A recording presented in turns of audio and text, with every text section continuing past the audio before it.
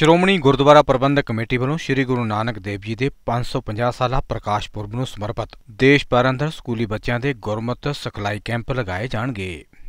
Shiromani committee ਦੇ ਪ੍ਰਧਾਨ ਭਾਈ ਗੋਬਿੰਦ ਸਿੰਘ ਲੌਂਗੋਵਾਲ ਦਾ ਕਹਿਣਾ ਹੈ ਕਿ ਬੱਚਿਆਂ ਅਤੇ ਨੌਜਵਾਨਾਂ ਨੂੰ ਧਰਮ ਦੇ ਮੁੱਢਲੇ ਸਿਧਾਂਤਾਂ ਦੇ ਇਤਿਹਾਸ ਤੋਂ ਜਾਣੂ ਕਰਵਾਉਣ ਦੇ ਲਈ ਗੁਰਮਤਿ ਕੈਂਪਾਂ ਦੀ ਵਿਉਂਤਬੰਦੀ ਕੀਤੀ ਗਈ ਹੈ। ਇਨ੍ਹਾਂ ਕੈਂਪਾਂ ਦੌਰਾਨ ਜਿੱਥੇ ਬੱਚਿਆਂ ਨੂੰ ਸਿੱਖ ਫਲਸਫੇ ਨਾਲ ਜੋੜਿਆ ਜਾਵੇਗਾ ਉੱਥੇ ਬੱਚਿਆਂ ਦੀ ਪ੍ਰਤਿਭਾ ਨੂੰ ਹੋਰ ਨਿਖਾਰਨ ਲਈ ਧਾਰਮਿਕ ਮੁਕਾਬਲੇ ਵੀ ਕਰਵਾਏ ਜਾਣਗੇ। ਗੁਰਮਤਿ ਕੈਂਪ ਆ ਜਿਹੜਾ ਸਾਰਾ ਜਿਹੜਾ ਅਸੀਂ ਸਾਡੇ ਸਕੂਲਾਂ ਕਾਲਜਾਂ ਦੇ ਬੱਚੇ ਨੇ ਜਿਹੜੇ ਹੁਣ ਛੁੱਟੀਆਂ ਦੇ ਵਿੱਚ ਜੂਨ ਦੇ ਵਿੱਚ ਅਹ, ਗੁਰਮਤਿ ਟ੍ਰੇਨਿੰਗ ਕੈਂਪ ਲਾਏ ਜਾਣਗੇ। ਤਕਰੀਬਨ 1 ਲੱਖ ਬੱਚਾ ਜਿਹੜਾ ਹੈ ਇਹਦੇ ਵਿੱਚ ਅਸੀਂ ਸਾਰਿਆਂ ਨੂੰ ਸ਼ਾਮਲ ਕਰਾਂਗੇ। ਇੱਥੇ ਗੁਰਮਤਿ ਇਤਿਹਾਸ ਬਾਰੇ ਗੁਰਮਤਿ ਬਾਰੇ ਬਾਣੀ ਬਾਰੇ ਔਰ ਸਾਰੀ ਉਹਨਾਂ ਨੂੰ ਜਿਹੜੀ ਹੈ ਜਾਣਕਾਰੀ ਤੇ ਸਿੱਖਿਆ ਦਿੱਤੀ ਜਾਊਗੀ। ਕਿਤੇ ਇਹ ਸੀ ਕਿੱਥੇ ਕਿੱਥੇ ਲੱਗਣਗੇ ਪ੍ਰਧਾਨ ਜੀ ਕੈਂਪ? ਉਹ ਅਸੀਂ ਅੱਜ ਡਿਟੇਲਸ ਪ੍ਰੋਗਰਾਮ ਬਣਾ ਦਿੰਨੇ ਸਾਰੇ ਹੀ ਲੱਗਣੇ ਸਾਰੇ ਦੇਸ਼ ਦੇ ਵਿੱਚ ਲਾਵਾਂਗੇ ਜਿੱਥੇ ਵੀ ਸਾਡੇ ਹੈਗੇ ਨੇ। ਜਿੱਥੇ ਜਿੱਥੇ ਮਿਸ਼ਨ ਚੱਲਦੇ ਮਿਸ਼ਨ ਹਾਂ ਮਿਸ਼ਨਾਂ ਦੇ ਵਿੱਚ ਜਿੱਥੇ ਜਿੱਥੇ ਵੀ ਸਾਰੇ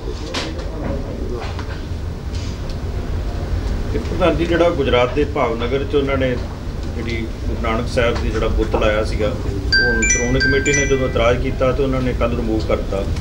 ਇਹਦੇ ਬਾਰੇ ਕੀ ਤੁਸੀਂ ਕੁਝ ਕਹੋਗੇ? ਦੇਖੋ ਸਾਡੇ ਮੂਰਤੀ ਪੂਜਾ ਦਾ ਜਿਹੜਾ ਅਸੀਂ ਇਹ ਸਿੱਖ ਧਰਮ ਦੇ ਵਿੱਚ ਨਹੀਂ ਹੈ। ਸੋ ਉਹਨਾਂ ਨੂੰ ਅਣਜਾਣ ਪੁਣੇ ਨਾਲ ਹੋ ਗਿਆ ਜਾਂ ਉਹਨਾਂ ਨੂੰ ਸ- ਆਪਣੇ ਧਰਮ ਦੇ ਪੂਰਾ ਗਿਆਨ ਨਹੀਂ ਸੀ ਇਸ ਕਰਕੇ ਉਹਨਾਂ ਨੇ ਇਹ ਗਲਤੀ ਕੀਤੀ ਸੀ।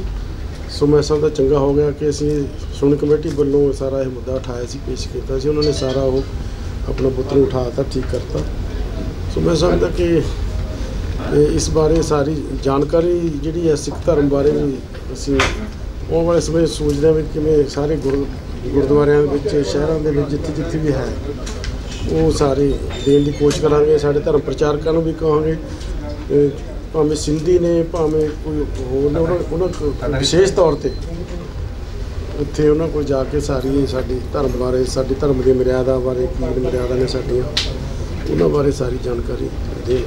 ਜਿਵੇਂ ਹੁਣ ਪਤਾ ਲੱਗਾ ਜੀ ਉਹ ਬੁੱਤ ਦੀ ਜਗ੍ਹਾ ਤੇ ਹੁਣ ਉੱਥੇ ਕੋਈ ਖਾਲਸਾਈ ਚਿੰਨ੍ਹ ਖੰਡਾ ਲਗਾ ਰਹੇ ਆ। ਕੀ ਸ਼੍ਰੋਮਣੀ ਕਮੇਟੀ ਉਹਨਾਂ ਨੂੰ ਕੋਈ ਸਹਿਯੋਗ ਕਰੇਗੀ ਜੇ ਉਹ ਡਿਮਾਂਡ ਕਰਦੇ ਆ ਜੀ ਕੋਈ? ਵਿਚਾਰ ਕਰ ਲੈਣੇ ਜੇ ਉਹ ਤੇ ਜੇ ਕੋਈ ਡਿਮਾਂਡ ਕਰਨਗੇ ਤਾਂ ਉਹ ਤੇ ਅਸੀਂ ਵਿਚਾਰ ਕਰ ਲਾਂਗੇ।